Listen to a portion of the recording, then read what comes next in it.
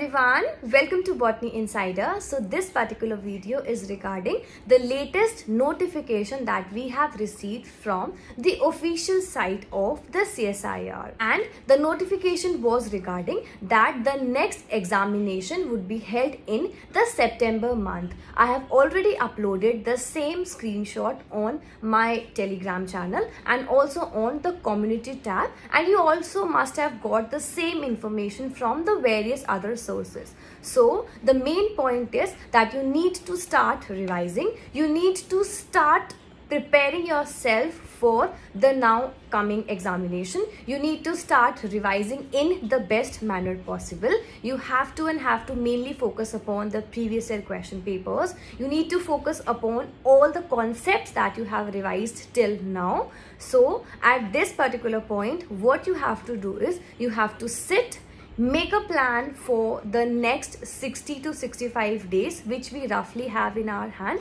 and then prepare smartly. I would suggest you that try to mainly focus upon those topics that you have covered till now so that you can at least go for those topics that you have prepared well and you can confidently mark out those questions. So this was the main thing I wanted to share in this particular video.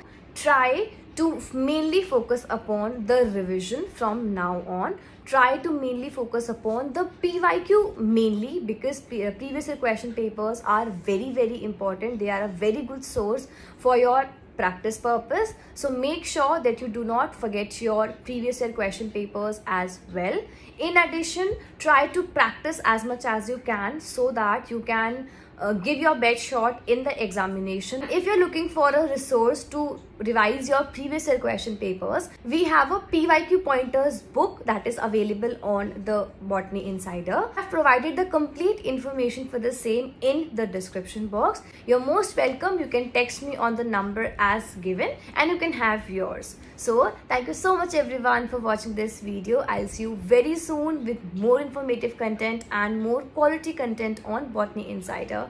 Till then, good luck, study hard and all the very best everyone. Bye.